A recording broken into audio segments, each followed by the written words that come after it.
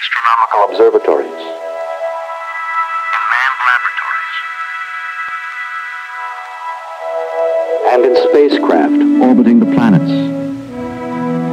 Instruments probe the near and distant environments of space and open new windows on the universe.